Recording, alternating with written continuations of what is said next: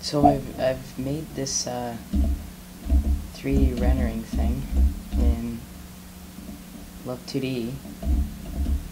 So on. Alright, alright, I got it. Um,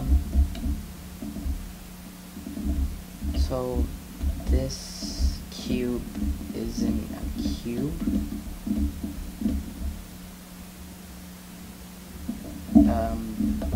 It's just um, polygons on the screen. You know, it, it's not actually 3D, I guess, but it uses probably the same terminology for a natural 3D game, well, rendering system. Uh, I followed the tutorial on uh, on this, and the language the person was using was Python, and I don't know Python, so this was a result of that. They also made a Java version, which I know a little bit of Java, so I tried using that, but the result is still this. Horrible depth so sorting.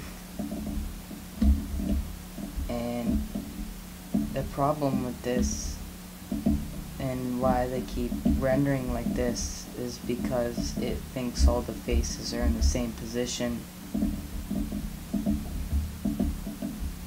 The way I use the exact way that the person in the video was sorting them.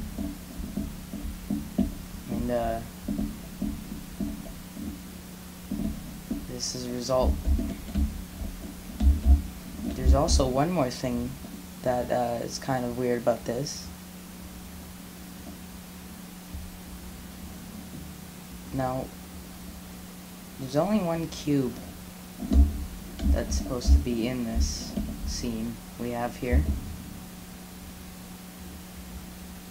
But for some reason,